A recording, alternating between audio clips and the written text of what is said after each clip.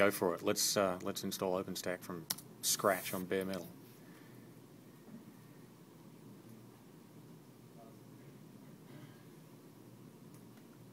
Okay, we're going to select.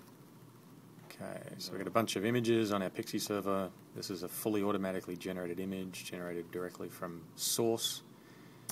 And we're using the Cactus 64-bit Cool. version. Okay.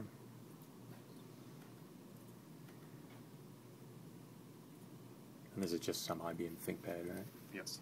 Nothing fancy. And this is CentOS 5. CentOS 5 with a little bit of uh, additional pack, with, with a, a few additional packages. Cool.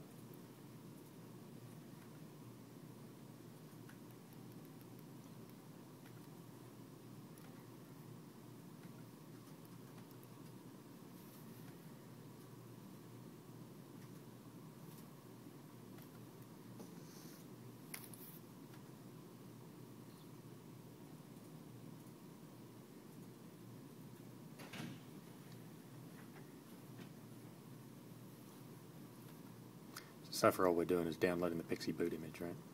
Yes, the image itself is about 400 megs, and this is what's happening right now. There's no progress on the screen, but that's that's the reason why we have this you know, nice blue screen.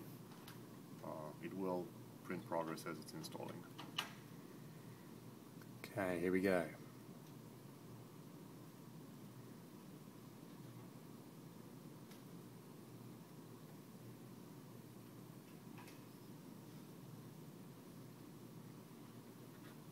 Right, so this is the real meat of it. Installing in what about 30 seconds or so. Exactly, the installation is very very fast because our installer doesn't do any unnecessary things. All the computation was done on the server side. Right, we pre pre computed the dependencies and pre you know computed the image, all that good stuff.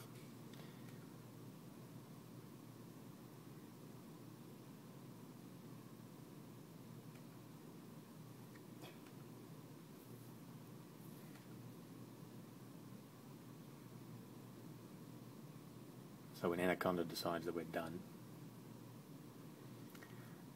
I think it's setting up uh, the bootloader now and uh, there we go. Yeah, Bootloader is done. setting with passwords Reboot. and whatnot.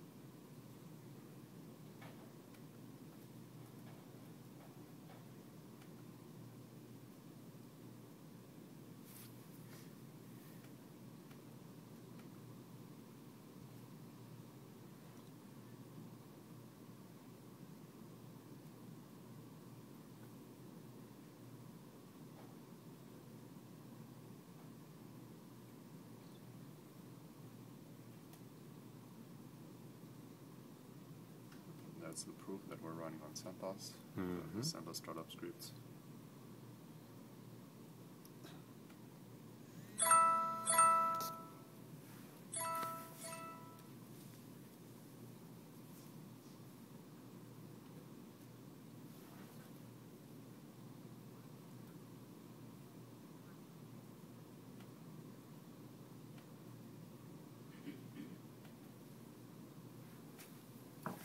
Yeah, hey.